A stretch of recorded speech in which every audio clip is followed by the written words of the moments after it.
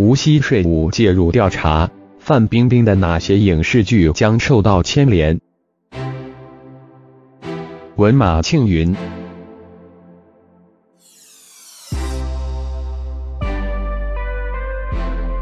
六月三日十二点五十分，《法制日报》发布讯息称，无锡税务部门已经介入对范冰冰偷税漏税一事的调查。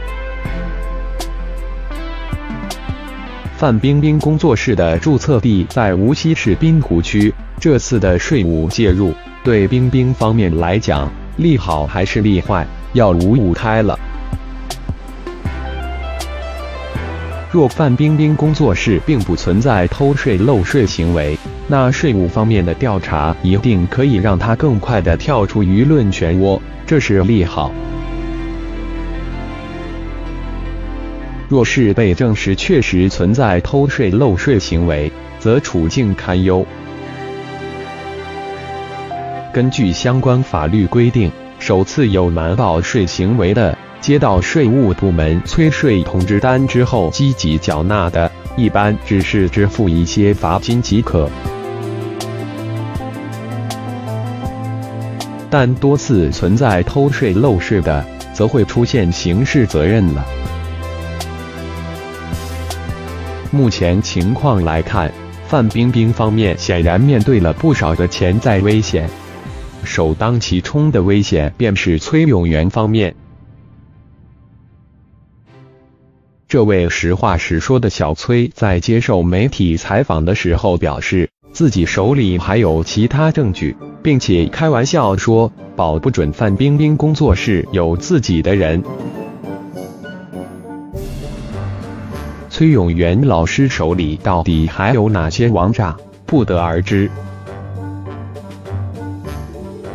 而范冰冰工作室方面。则在六月二日社交媒体平台上爆出全员出动去了阿里，为这里的贫困孩子做慈善医疗救助。有关心范冰冰的粉丝认为，这是范爷慈善义举，应该大力肯定。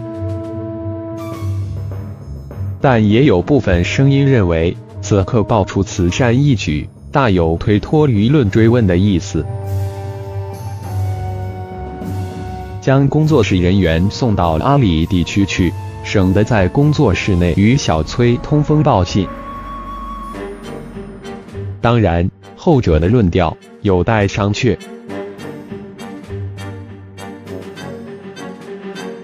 不过，范冰冰方面并未在这次的阿里地区的慈善医疗救助支行当中。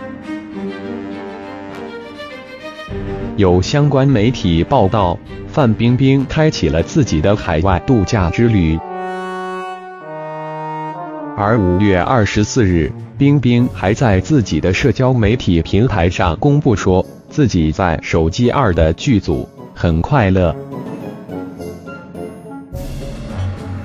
突然间的海外度假，有点让人摸不着头脑。难道小刚导演的剧组也可以拍戏间戏，让演员去度假吗？对于范冰冰一面来讲，另一个潜在的危险则来自黄毅清。这位娱乐圈名人被称为内地娱乐的实锤王。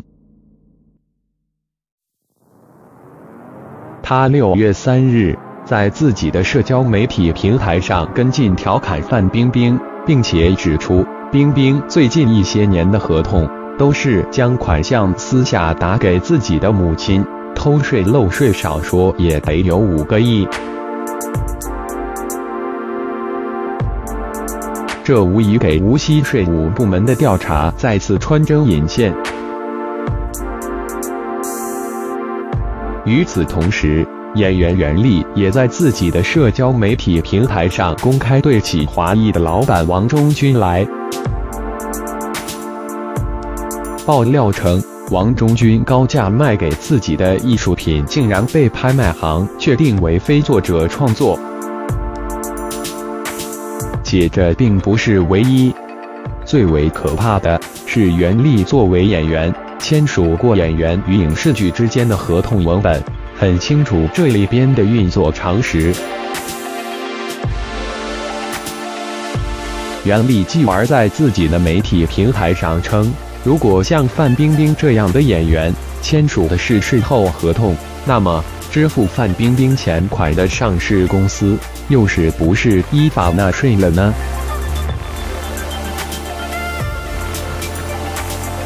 处于舆论漩涡当中的范冰冰、冯小刚和华谊兄弟，最近的日子都会过得不轻松。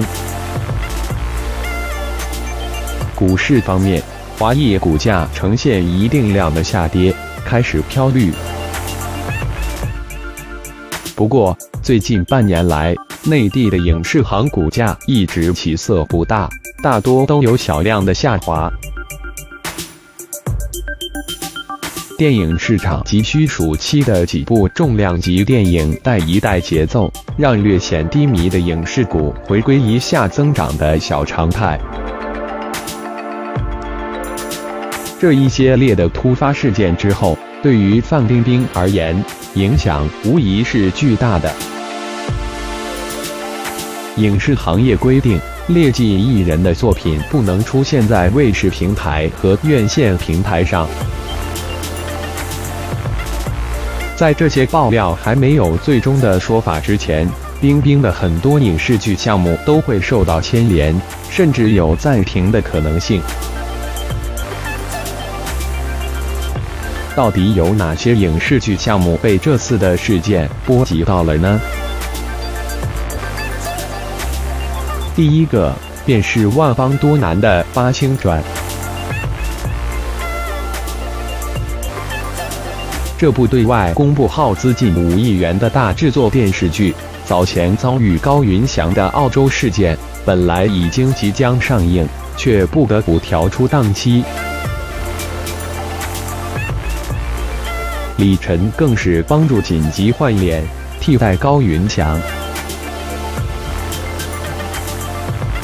该片目前暂定七月六日卫视上映，但范冰冰一事持续发酵，还有一个月的时间，此事最终会尘埃落定，还是实锤满满，不得而知。八星转再次命运未卜。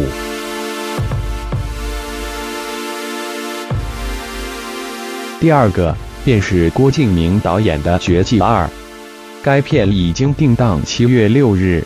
范冰冰是绝对的女一号。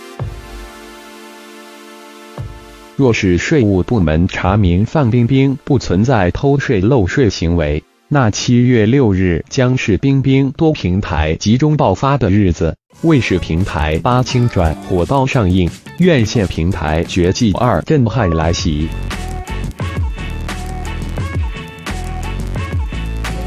然而，这一个月内还是存在太多变数，这也造成电影《绝技二》方面提心吊胆。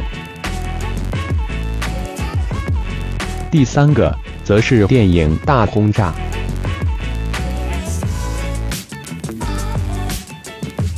该片明星云集，讲的是日寇对重庆的大轰炸和中国人民的奋起反抗。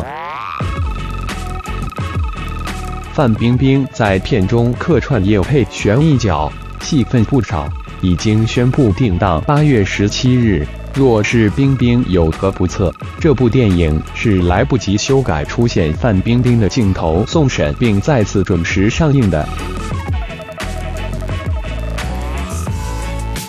第四个，则是冯小刚导演的《手机二》，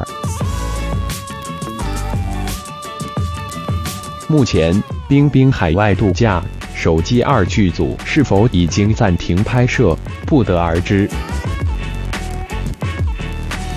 崔永元老师这次的诸多爆料，也都是奔着手机二去的。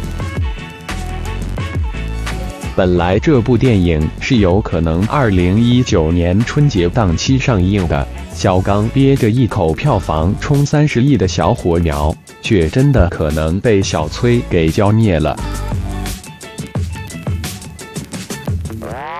此外，范冰冰进军好莱坞的大片《三百五十五》，估计也会出现摇摆了。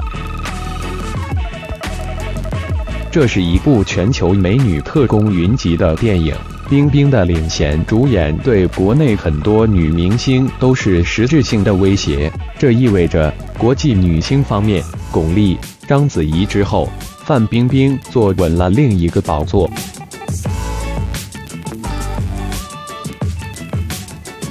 但是，好莱坞看重的是范冰冰的大陆影响力，一旦出现负面，或许会面对好莱坞解约的问题。